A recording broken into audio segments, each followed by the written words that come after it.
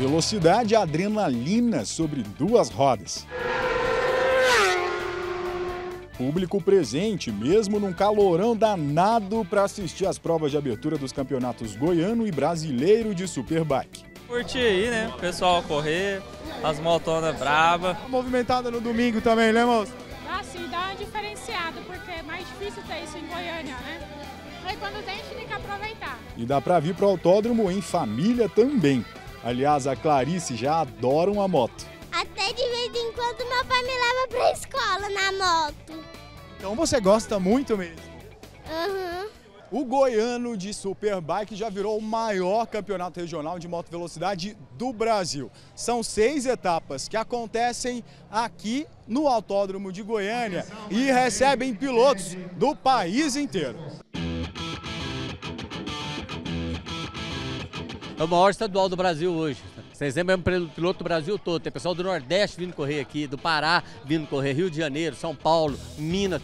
Todos estão aqui hoje correndo e a maioria deles filiados no estado de Goiás para correr o campeonato nosso, é o campeonato estadual. Eles competem em 11 categorias. Na Master, com pilotos acima de 40 anos, Gírio Siman levou o primeiro lugar. Difícil é a, a hora da largada, né? o que antecede a largada. A gente fica muito tenso, né? E eu larguei na pole, então minha preocupação era largar bem e chegar na primeira curva bem. Que aí passava o perigo, que é a primeira volta. Graças a Deus larguei bem, cheguei na curva, aí fui mantendo a primeira colocação, foi bem mais fácil. E fui olhando para trás, administrando o segundo lugar, que não estava chegando. Se chegasse eu apertava, eu estava bem, graças a Deus. E foi maravilhoso. Ganhar em Goiânia aqui não é qualquer coisa não, aqui é muito legal.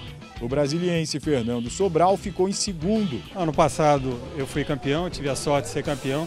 Esse ano parece que vai ser mais difícil, mas eu vou me esforçar.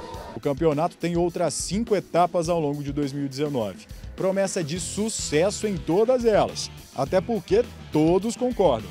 Temos a melhor pista do Brasil para quem acelera sobre duas rodas. Essa pista é excelente, é muito boa, muito segura, é ótima. E os caras estão com a estrutura excelente aqui.